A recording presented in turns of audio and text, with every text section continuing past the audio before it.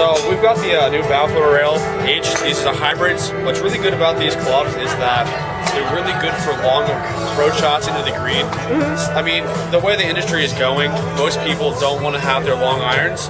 Right. I mean, they're tough to hit. I don't play long irons. I love my hybrids. Right. So these things are made of maraging steel, which allowed us to save 10% on weight and make the thin the uh, face 10% thinner. Okay. That allows us to bump them down a degree in loft, make them a little bit stronger to get a little bit more distance.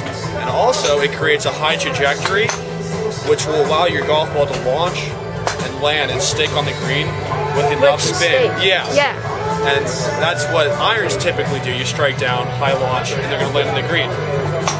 And the technology is behind these, we have a four rail system right here, which increases turf interaction, less surface area that interacts with the ground.